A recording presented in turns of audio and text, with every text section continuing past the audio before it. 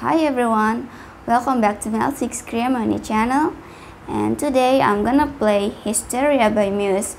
It's my most requested song ever and I'm gonna play this song using Spark Amp from Positive Grid.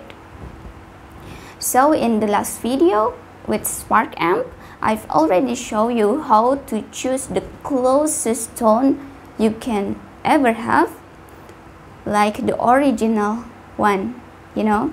And today I already downloaded the preset so I just need to find it.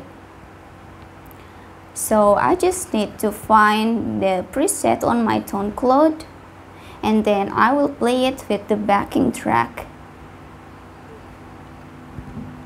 Yep my spark already connected and now I'm gonna choose the the preset.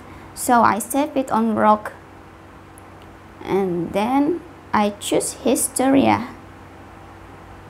There. And now we just need to find the backing track of it. Hysteria backing track. There. So yeah I hope you enjoyed this video